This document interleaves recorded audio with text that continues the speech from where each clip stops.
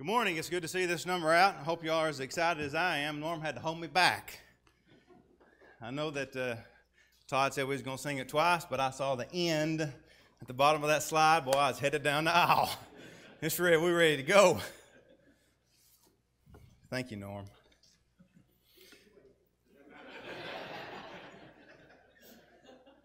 so good to have uh, this number out. Uh, obviously, I'm not Jesse. Uh, we definitely miss Brother Jesse. Uh, we're thankful that he has the opportunity to be able to uh, to go to other places, and uh, we, we get to share him. And uh, he is spending some time in Lubbock, Texas. He'll be there through Wednesday. So let's continue to pray for his efforts. Remember the family um, as they uh, remain with us. It's good to have the spirits with us. obviously, we're all excited about Harper and looking for the opportunity to to meet her. Um, Robert uh, had texted this morning, and, and it's, it's as you would expect with a newborn. There's not a lot of sleep that's, uh, that's going on. Uh, plus, there's a lot of allergies that are uh, bothering him as well. But uh, let's continue to remember them. We're, we're very blessed with a beautiful day. Uh, yesterday was a beautiful day. I love the springtime, but there's a whole lot of sniffling and a whole lot of sneezing that comes along with that, too. A lot of yellow pollen that's out there. But I'm very thankful to be able to, to stand before you this morning and uh, proclaim a message from, from God's Word. You know, the Scriptures are rich with truth, obviously, because they are truth, but they're rich with, with lessons for us to be learned. We uh, can read about so many different characters and, and stories in the Bible that are so meaningful uh, to us. And we oftentimes focus on some of what I would call the primary characters. And uh, I think that when we do that, we might miss maybe some smaller stories that are kind of uh, overshadowed by these, these uh, larger characters or these bigger stories that you might say. Brother Jude read for us the healing of Naaman, the leper. And I believe that that's a beloved story that, that we're all very familiar with. And something that we can learn great lessons from about faith, about obedience, many other lessons that I think we can glean from the story of Naaman the fact that he was an outsider, he wasn't an Israelite, how uh, Elisha handled him, how God handled the situation. There are many lessons for us to, to be learned there. But I think oftentimes, once we get to where Naaman is cleansed, maybe we'll go just a little bit farther where he offers these gifts to Elisha and Elisha refuses. But at that point, typically the story ends. Whether it's maybe a Bible class or maybe even a sermon from the pulpit, that we get to that point and that, that's, the, that's the sermon. You know, I was telling Brother Todd, I don't know that I have ever heard a, a, a, sermon. I'm 41 years old. I know it's hard to believe. And I'm sure there are sermons that I don't remember uh, growing up, but I don't ever remember hearing a sermon preached after Naaman was cleansed. And I think in this particular situation, if we stop the story there, we miss quite a bit. You see, there's another story in the shadow that occurs directly after Naaman's healing, which I really would like for us to consider this morning. You know, among the less prominent characters of, of scriptures, actually, if you are looking up at the screen, uh, I could probably take a poll if you even recognize that name. I would say many of us probably don't even recognize the name that we see before us. And he is definitely one of the, uh, the less prominent characters of scriptures. But this was Elisha's servant. So there are a couple of different pronunciations. You can pronounce it uh, Gehazi or Gehazi. Uh, I'm going to stick with Gehazi because for whatever reason that's stuck in my mind. Uh, so that's what we're going to try to stick with, but either one of those will do. But this is Elisha's servant. So actually, this is like Elisha was to Elijah. So this is Elisha's servant. And if you think about the situation of, uh, uh, of what he's surrounded by, being the servant of Elisha, this great teacher of righteousness. And you can imagine uh, Gehazi being there whenever Elisha is saying his prayers, and maybe even joining in with Elisha in these prayers. The miracles that he witnessed at the hands of Elisha. The teachings that no doubt he had to have known because he was right there. And it's even possible, we know how Elisha took the spot of Elijah Gehazi very well may have been taking the, the spot of Elisha someday. And despite all of this, Gehazi was able to resist everything. So, Brother Jude read for us the first part of the story. And somebody had mentioned the other uh, day in a lesson, uh, Paul Harvey, the rest of the story. So, we're going to pick up in 2 Kings chapter 5, and we're going to read the rest of the story. So, it's not going to be up on the screen. So, if you would be turning over to 2 Kings chapter 5. We'll be picking up in verse 15. It says, When he returned to the man of God with all his company and came and stood before him, he said, Behold, now I know that there is no God in all the earth but in Israel, so please take a present from your servant now. So again, Naaman's just been cleansed of this awful disease. And he's coming back now because he wants to give a gift to Elisha. Verse 16, but he said, As the Lord lives, this is Elisha, as the Lord lives before whom I stand, I will take nothing. And he urged him to take it, but he refused. Naaman said, If not, please let your servant at least be given two mules' load of earth, for your servant will no longer offer burnt offerings, nor will he sacrifice to other gods, but to the Lord. In this matter, may the Lord pardon your servant. When my master goes into the house of Ramon to worship there, and he leans on my hand, then I bow myself in the house of Ramon. When I bow myself in the house of Ramon, the Lord pardon your servant in this matter. He said to him, Go in peace. So he departed from him some distance. And here we go. But Gehazi, the servant of Elisha, the man of God, thought, Behold, my master has spared this name Naaman the Aramean by not receiving from his hands what he brought. As the Lord lives, I will run after him and take something from him. So Gehazi pursued Naaman. When Naaman saw one running after him, he came down from the chariot to meet him and said, Is all well? He said, All is well, my master. My master has sent me, saying, Behold, just now two young men of the sons of the prophets have come to me from the hill country of Ephraim. Please give them a talent of silver and two changes of clothes. Naaman said, Be pleased to take two talents. And he urged him and bound two talents of silver in two bags with two changes of clothes and gave them to two of his servants, and they carried them before him. When he came to the hill, he took them from their hand and deposited them in the house, and he sent the men away, and they departed. But he went in and stood before his master, and Elisha said to him, Where have you been, Gehazi? He said, Your servant went nowhere. Then he said to him, Did not my heart go with you? When the man turned from his chariot to meet you, is it a time to receive money and a, to receive clothes and olive groves and vineyards and sheep and oxen and male and female servants? Therefore, the leprosy of Naaman shall cling to you and to your descendants forever. So he went out from his presence, a leper, as white as snow.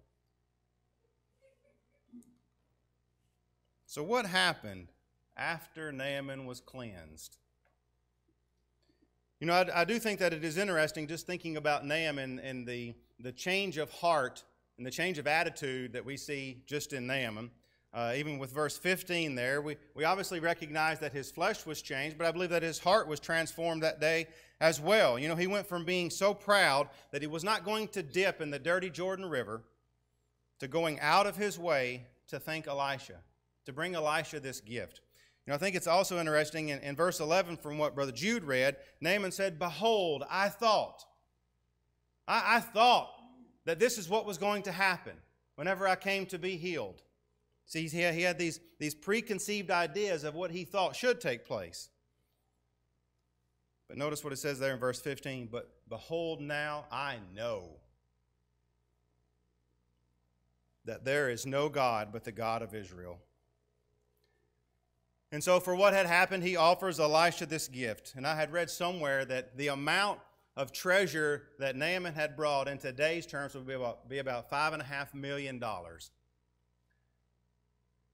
Rather large treasure that he's going to, to offer to Elisha just for the fact of being cleansed. And of course, we know that although Naaman continues to, to push for Elisha to take it, Elisha's not going to, to take it. All Elisha was concerned with was that God was glorified. So Naaman, of course, all right, you're not going to accept my gift. If you're not going to accept my gift, please at least allow me to take some soil back with me. This has got to be some holy soil. Now, we recognize that this was definitely not necessary, that there was nothing inherently special or holy about the soil that was in Israel. But I think that, it, again, it does show that his heart is at least in the right place. Again, showing this transformation. Verse 18, I think we recognize there's a little bit of a problem that Naaman still has. He owns up to the fact that he should not be bowing down to, to this false god, Ramon, but that he cannot otherwise not do it if he's going to be able to keep his position with the king. And he explains that his bowing, it's, it's not to honor the idol. I recognize that God is the only true and living God, so I'm not bowing down before him to worship this God, but I'm doing it really to please the king. And perhaps, all things considered, this might be some kind of apology, but it's still wrong. So Naaman came back, tries to give Elisha this treasure to thank him. Elisha refuses, so Naaman goes on his way. And then steps Gehazi. You see, Gehazi, he had witnessed Elisha refusing this great treasure. And no doubt, Gehazi knew what this was worth. Gehazi says, I cannot allow this. Elisha, he may have refused this, not me. Somebody's got to take something from this guy. It shows the selfish nature of Gehazi, how self centered he, he was. This whole situation, what's in it for me? What's best for me? Sounds like a common cry today, doesn't it? We put ourselves over devotion to God, over our service to God. You know, we see the same thing with the story of Lot, how he chose the better land because it was best for him, it was best for his herds. And he ignored the trouble of being so close to sin. Now, I, I want to notice just a couple of things from, from this here. It's interesting because Gehazi uses the exact same words the strong oath words about taking this treasure as Elisha had done about not taking it. As the Lord lives, Elisha was adamant, I am not taking this. As the Lord lives. Well, Gehazi was pretty adamant about taking it. As the Lord lives. And he didn't just say, you know what, I'll catch up to him eventually. No, dude took off. I'm going to run after him. I'm going to get this. The college kids will be familiar with this, but we all recognize the, the seven things that are abomination to God. One of the things, if you remember, feet that are swift in running to evil. That's Gehazi. Well, he was on it. That's Proverbs 6 and verse 18. So Gehazi's running after him. Naaman, he, he recognizes somebody is running after him, and he's obviously concerned now, so he steps down. Is everything okay? What's going on? So Gehazi approaches Naaman. Everything's fine. It's fine, but you won't believe what has happened. I mean, like as soon as you left, you won't believe what's happened. I know that Elisha said he's not going to take anything from you, but we just had some visitors, and they could really use a little something. You know, I think it's also interesting that Gehazi didn't go and, and ask for all of it. Go ahead and just give get all of it. No, he just asked just for a little bit. And I don't know if that was because he didn't want to seem too suspicious, but he asked just for a little bit.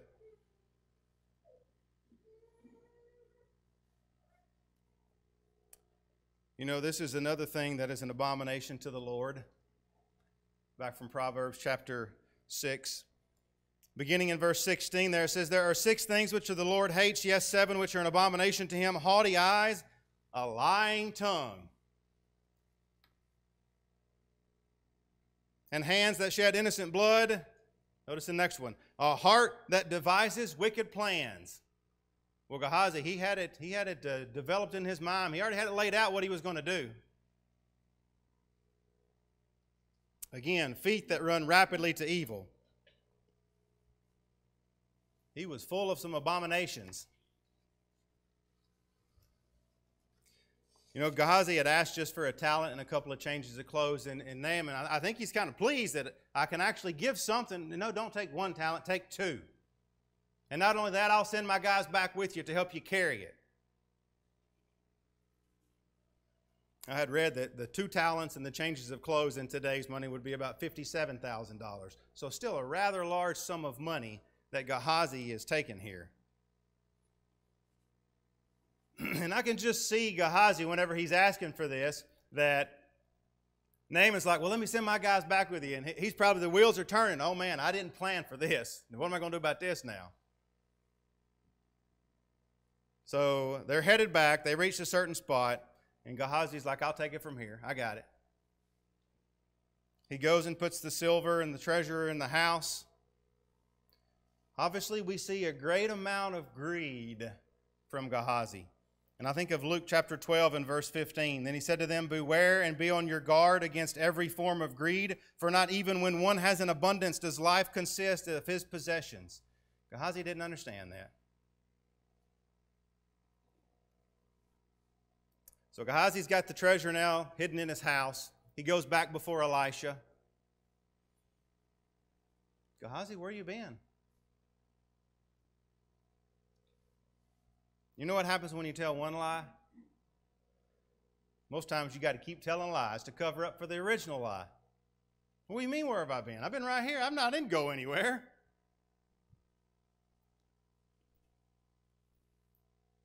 What have you been doing, Gehazi? Been right here. Ain't nothing going on. Verse 26, Elisha again. He said, Did, not, did my spirit not go with you? Was my heart not with you when you went? Elisha's telling him, Gehazi, I was there. Now, I think we've all been in that situation, and we can feel probably what Gehazi is feeling right now busted. You see, Gehazi thought he had committed the perfect crime I, am going to be scot free. I've worked this out so well.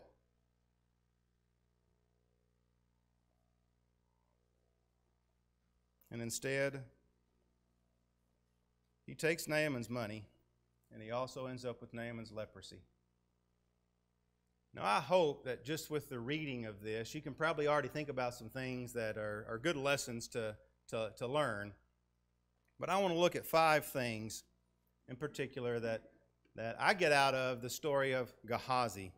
The first one, Galatians chapter 6, verses 7 and 8. We know you reap what you sow. Go ahead and turn over to Galatians chapter 6.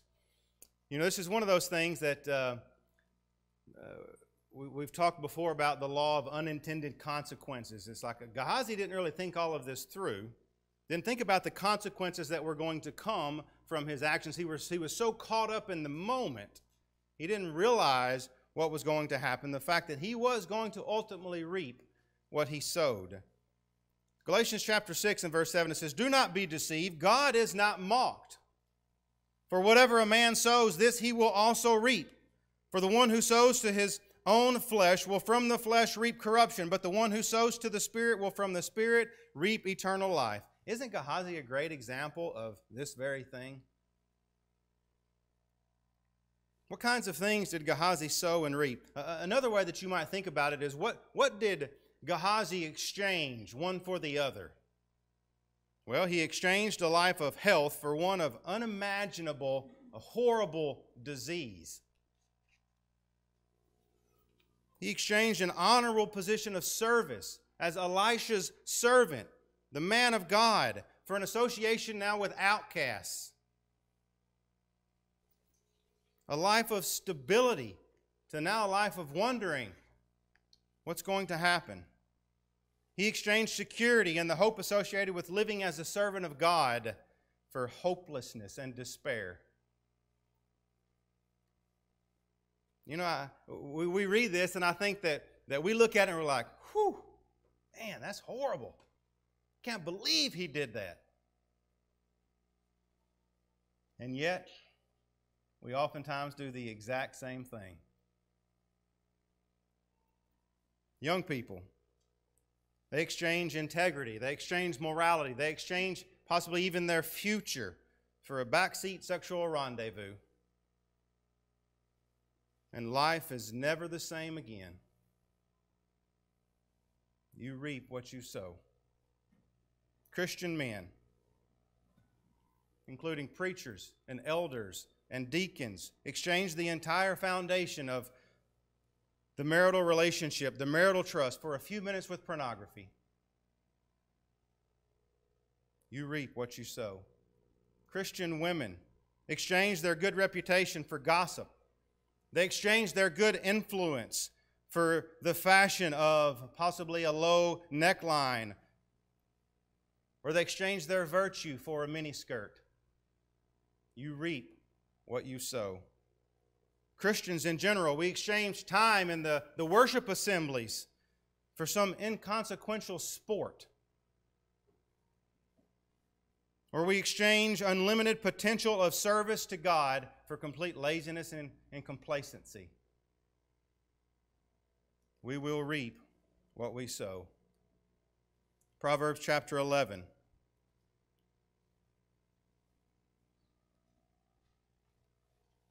Proverbs chapter 11 and verse 18. It says, The wicked earns deceptive wages, but he who sows righteousness gets a true reward. He who is steadfast in righteousness will attain to life, and he who pursues evil will bring about his own death. How true is that? You reap what you sow. Something else I want us to see from Gehazi, and this is something that has been more on my mind because of the, the Bible class that we've been doing downstairs uh, with the college kids, but everyone is equally deserving of God's mercy. And you know how deserving we are? We're all equally deserving because we don't deserve it. We turn over to Romans chapter 9. So, Paul is talking to the Roman Christians, and there's a huge problem with the, the Jewish Christians not really understanding or wanting the Gentiles to receive what they have received. Look, we're God's people, we're the special people. They don't deserve mercy. They don't deserve God's grace. In Romans chapter 9 and verse 14, it says, What shall we say then? There is no injustice with God, is there? May it never be. For he says to Moses, I will have mercy on whom I have mercy, and I will have compassion on whom I have compassion. You know, after Naaman had traveled a distance back to, to Syria, Gehazi, again, he, he, he, he recognizes that okay, this doesn't seem fair. This doesn't seem right.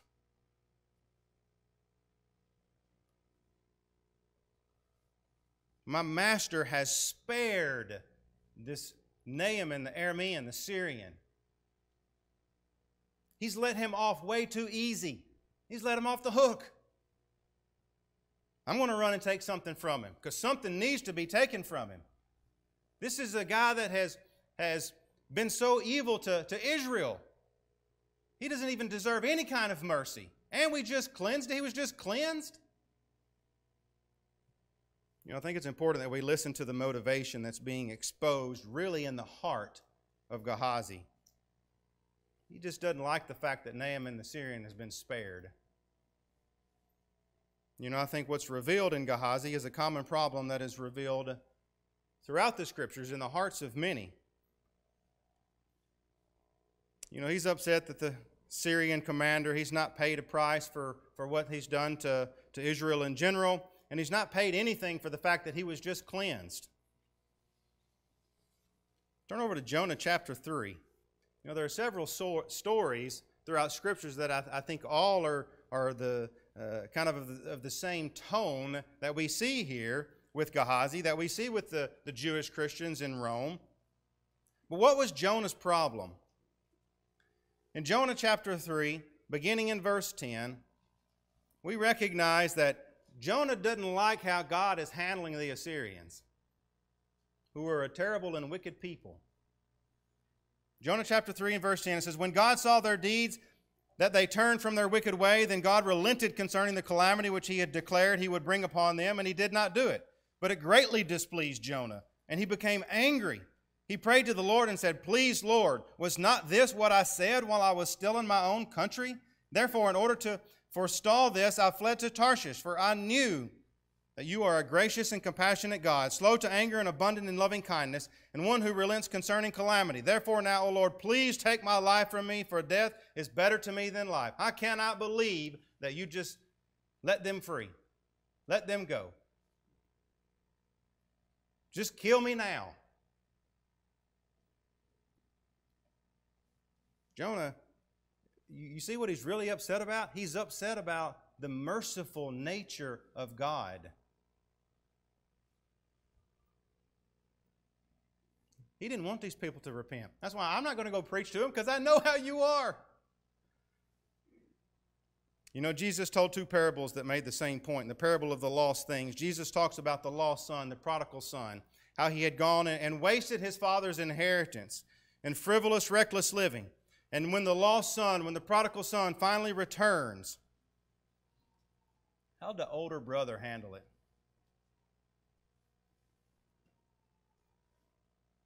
he was angry and completely refused to go to the party in celebration of the fact that the lost son has come home. And he points these things out to his father how he had devoured your inheritance on prostitutes. And yet here you are, you've killed the fatted calf. How can you receive him back with what he has done? You know, the issue is that these people are taking the place of God, and they're saying that that person or this group of people, what they've done, is unforgivable. They're not deserving of your mercy. Jesus eats with tax collectors and sinners, and the Jewish leaders, they grumble about it. Jesus goes to the house of Zacchaeus, and the crowds grumble because he's the chief tax collector. Gehazi thinks that Naaman needs to pay up. Jonah thinks that the Assyrians, they need to pay, they need to be judged. So, do we do this? Do we think that we need to make someone pay for what they've done? Do you make your spouse pay with your anger when they sin against you? Do you make your coworkers pay whenever they mistreat you? Do we think that we need to not let people off the hook for things that they may do? How do we look at sinners? How do we look at people who harm us, who wrong us? Who we look at and we think, God, how have they failed you? So horrible. Do we expect them to be worthy of, of our forgiveness too? Our kindness? Or are we at the forefront of mercy, reaching out to them with hope as God does? We have to understand that God truly does not want any to perish, but for all to come to repentance. You know, this is truly seen in 2 Kings chapter 5. Naaman, the idolatrous Syrian commander, receives mercy while Gehazi, the Israelite servant of Elisha, receives judgment. You know, this is the, the point that Jesus is making over in Luke chapter 4 and verse 20, 27, a passage where Naaman is actually brought up. He says, There were many lepers in Israel, but none of them were cleansed except Naaman the Syrian. In regards to this, this passage, Adam Clarke notes in his commentary, he said, God dispenses his benefits when, where, and to whom he pleases. No person can complain of his conduct in these respects because no person deserves any good from his hand. God never punishes any but those who deserve it, but he blesses incessantly those who deserve it not. We can't play God. That's not our responsibility.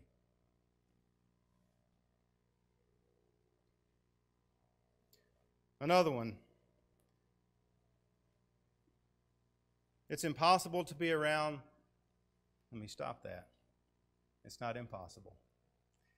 It is possible to be around the people of God and to engage in the work of God while having a heart that is far from God. And I hope that this is one that's pretty easy to see. Again, it is possible to be around the people of God and to engage in the work of God while having a heart that is far from God.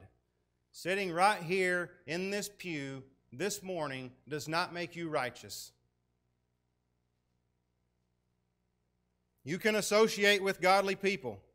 You can even engage in godly works. While all along your heart is corrupt and so far from God. It doesn't matter how close you are to His people. Again, think about who Gehazi is serving Elisha, the prophet of God. And all along, he was a deceiver, he was a liar. What about Judas Iscariot? Judas, associated with the Lord. Did that make him righteous? Did that make him holy?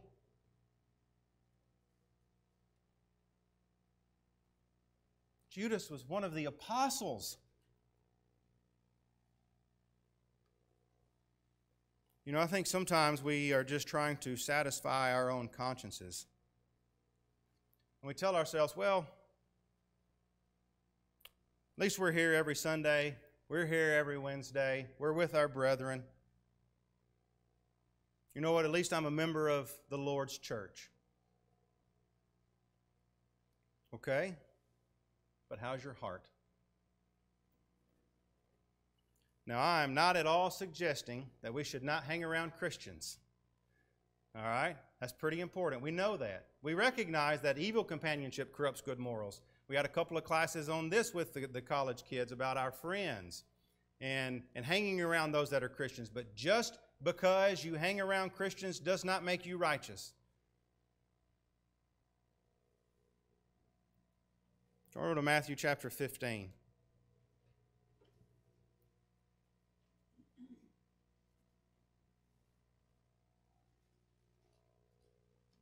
Matthew chapter 15, beginning in verse 7, it says, You hypocrites, rightly did Isaiah prophesy of you this people honors me with their lips, but their heart is far away from me. But in vain do they worship me, teaching as doctrines the precepts of men.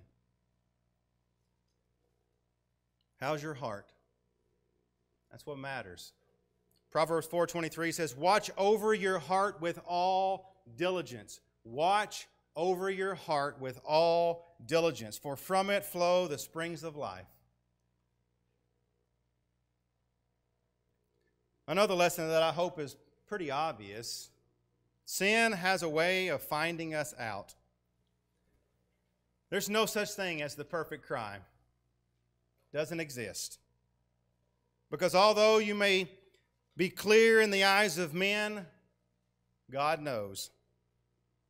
Sin finds us out. It will be exposed. You know, Cain killed Abel. Was there anybody around? Nobody's going to find out, right? Nobody else is there. Wrong. God knew. What about Achan? When he took of the accursed things and he, he hid them in his tent, nobody's going to know, right? Nobody knew. Wrong. God knew. What about Ananias and Sapphira? Well, nobody's going to know that we kept back part of the money. We're actually doing a lot of good by giving some of it. Nobody's going to know that we kept back part of it. Wrong. God knew. You know, whenever the children of Israel were coming into the promised land, if you remember the tribes of Reuben and Gad, they wanted to hang out on the east side.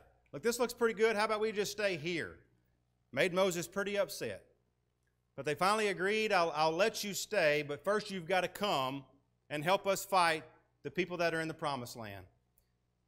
And he says in Numbers chapter 32, verse 23 But if you will not do so, behold, you have sinned against the Lord, and be sure your sin will find you out.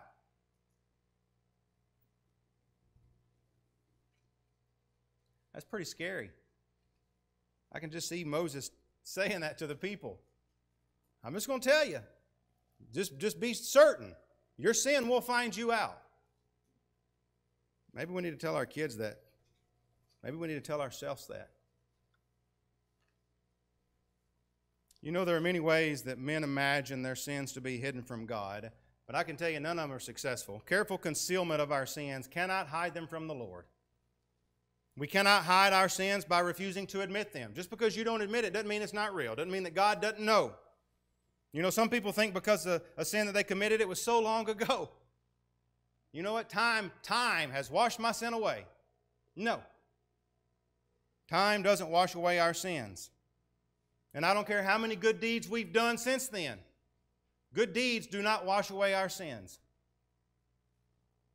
God sees and knows every wicked deed we commit, every evil word that we say, and every sinful purpose that we conceive in our hearts. You know, we're told in Hebrews chapter 4 and verse 13, and there is no creature hidden from his sight, but all things are open and laid bare to the eyes of him with whom we have to do. Your sins will find you out. Finally, again, another one that I hope is pretty obvious for us to see the God who heals the trusting also punishes the erring. If you will bow down before God with a trusting heart, guess what? He's going to lift you up. He will bless you. He will protect you. You know, we, we see such, this, uh, such a, a, transition from, from Naaman and how proud he was in the beginning. Psh, I'm not going to go wash in the Jordan, the dirty Jordan. What? I, I don't understand why I have to go wash in the Jordan. I'm not going to do that. But eventually, thanks to the words of his servant, Naaman humbled himself. He trusted in what he needed to do, and his heart was cleansed. Proverbs chapter 29, verse 23 A man's pride will bring him low, but a humble spirit will obtain honor. You know, we often think of James 4 and verse 10. Uh, if we humble ourselves in the sight of the Lord, that we will be exalted. But back up to verse 6, James chapter 4, verse 6, it says, He gives a greater grace. Therefore, it says, God is opposed to the proud, but gives grace to the humble. Naaman was shown some grace because he stopped being proud and had some humility. But you see, the God that showed mercy and gave grace to Naaman is the exact same God that is going to give justice to Gehazi. You know, when Gehazi tried to deceive and to lie, again, how one lie just kind of led to another, he was punished. He took Naaman's money, but again, he also took Naaman's leprosy. Again, from Proverbs chapter 16, verse 18 pride goes before destruction. And you know, if Naaman hadn't changed, he would have continued in his leprosy. And here we got Gehazi. Oh, I, I'm deserving of something, and he is definitely not deserving of anything. Pride goes before destruction, and a haughty spirit before stumbling. It is better to be humble in spirit with the lowly than to divide the spoil with the proud. Well, Gehazi's thinking, I've got all of this treasure now. Now, just to leave a life of leprosy. You know, Gehazi gave up his place as a servant to a prophet of God. He gave up his possible position to, to one day taking over for Elisha. He gave up so much for so little. What was Gehazi profited? Though he gained those two talents of silver and those two changes of clothes, he lost his health, he lost his honor, he lost his peace, his service, and if he never repented, he lost his soul. Remember Elisha's question to Gehazi, 2 Kings 5:25. But he went in and stood before his master, and Elisha said to him, Where have you been, Gehazi?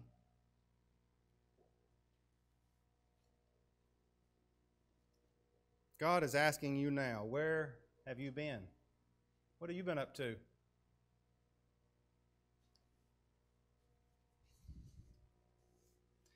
Now, I hope that you can honestly say, Nowhere. I've not been up to anything.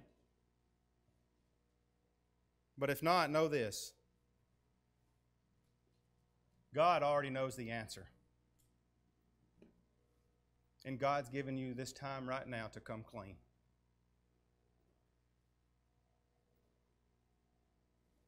And if you don't come clean now,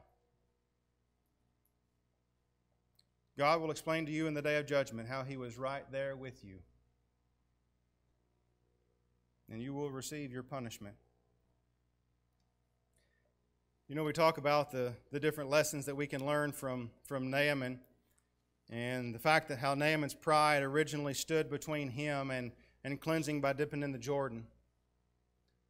Well, what's standing in your way right now of the cleansing waters of baptism? 2 Kings 5:13 Then his servants came near and spoke to him and said, "My father had the prophet told you to do some great thing, would you not have done it? How much more then when he says to you, wash and be clean?" If you were told that you're going to be able to receive eternal life, but you've got to go climb Mount Everest, how many of us would be at the base of Mount Everest right now?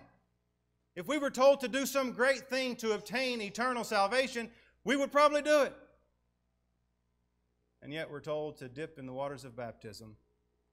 And for some reason, that causes a hiccup. Wash and be clean.